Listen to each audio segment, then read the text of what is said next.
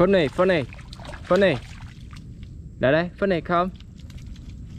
Funny. Em đi vô cái chỗ dùng đất nó bị lúng. Ai, nó lúng xuống rồi nó kẹt chân vô khúc cây á. Rồi.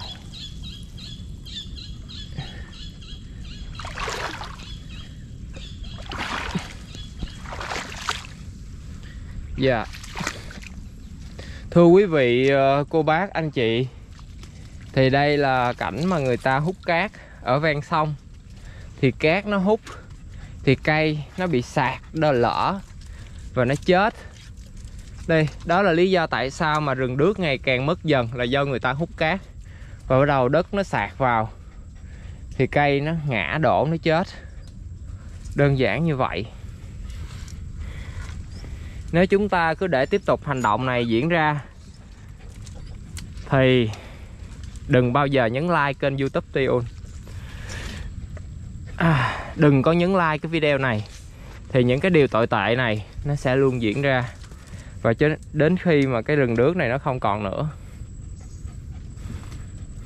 Ủng hộ Tion thì thiên nhiên động vật còn không ủng hộ thì mất hết à. Bởi vì không ai làm những cái hành động này như em những em là bơi lội sống ngoài thiên nhiên như vậy, em cho mọi người thấy được cảnh này. Những youtuber khác không cho coi được mấy thứ này. Bởi vì họ làm clip là để câu view kiếm tiền nên sẽ làm những việc đơn giản hơn và có lượt view nhiều cao hơn. Còn đây là hành động em phải sacrifice hy sinh. Ra đây biết bao nhiêu nguy hiểm rình rập.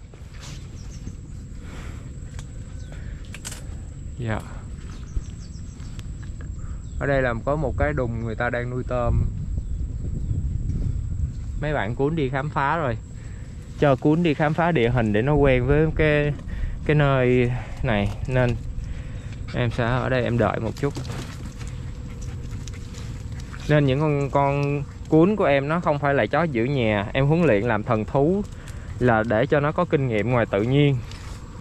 Bắt buộc nó phải như vậy nó mới hỗ trợ em được.